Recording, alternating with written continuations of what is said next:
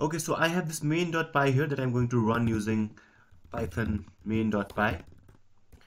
And as you can see, I'm getting this error. Python was not found, run without arguments to install from Microsoft Store. So let's see how we can fix this error. First, we need to find out where the Python is installed. So if you don't have Python installed in your Windows system, check the links in the description. It will show you how to install Python. Now, once you have Python installed, you need to find out where it is installed.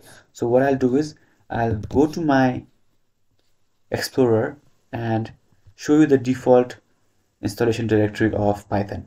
And just follow along with me. And if you find Python there, that's good. If you don't find Python there, I will show you how to search for Python.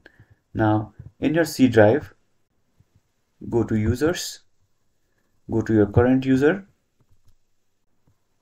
and then go inside app data. If app data is not visible in your case, what you need to do is, it might be hidden, it is hidden by default. Click on this view here, click on show, and then select hidden items and hidden items will be shown. Once is visible, go inside this and go inside local. And here you need to go inside programs and then you'll find Python here. And I have multiple installations of Python. So I'll choose 319 Python 39 here. So this is the path, right? Here you have python.exe.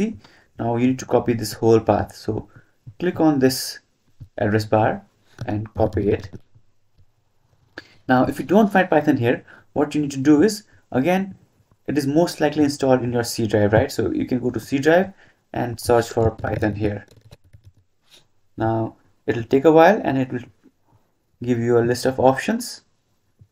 So as you can see, it is giving me Python 27.dll. And similarly, it will give search for everything that has Python written on it. Or what you can do is you can search for python.exe itself. So this is what we are looking for. When you find this file, just right click on it and go to file directory and then copy by clicking here on the US in the address bar as we had just done earlier.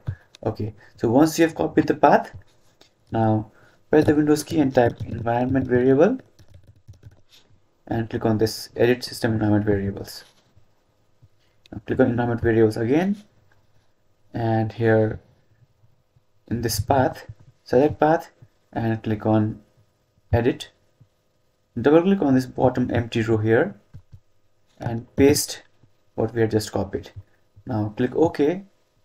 Click ok again. Click ok again. And now go back to your project directory. Open command prompt here and now let's try to run this again